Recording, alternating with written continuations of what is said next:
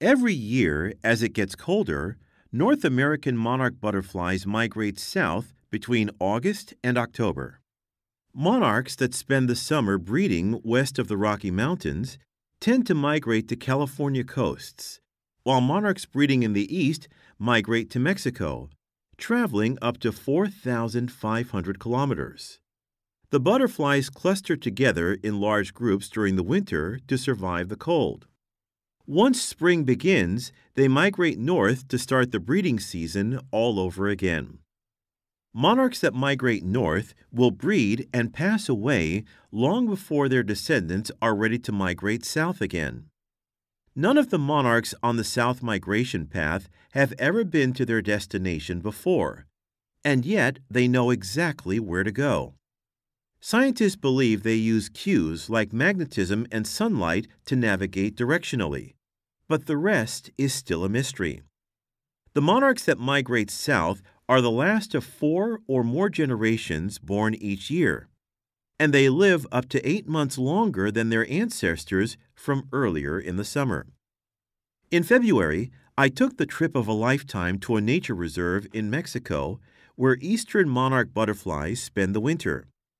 For our group of 15, getting to the monarch's wintering grounds in the volcanic mountains of central southern Mexico involved four hours on a bus from Mexico City, half an hour up steep dirt roads in the backs of open air trucks, half an hour on horses led by locals, and finally, 45 minutes hiking up the last 600 feet of elevation to their current location at 11,100 feet above sea level.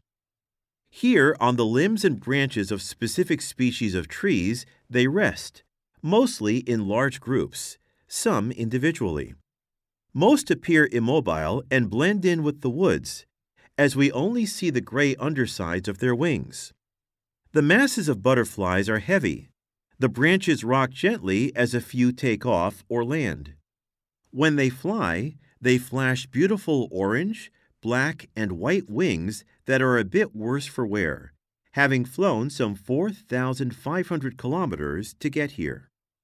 Amazed by the sheer number of butterflies, I found myself wondering did any of these magical creatures get their start in my yard in New Hampshire, in the northeastern United States? Several years ago, I was given some special plants which monarch caterpillars are known to survive on exclusively, called milkweed. I'm not good with plants and thought I had killed them off, but last summer they came up again and on my two thin stalks I found four healthy monarch caterpillars. I never found their chrysalises, but six months later, in the mountains of Mexico, as I stared at the monarchs lazily flapping their wings on the trees, I wished I could get a glimpse of recognition that would tell me that my monarchs had survived to adulthood and arrived safe and sound in Mexico. Now, in May, the children of those monarchs are working their way north. My milkweed has just emerged from the soil, getting ready for their arrival this summer. This time, though, I will know that a few generations ago their ancestors and I were in the same place, and I may have looked at their great great great grandparents.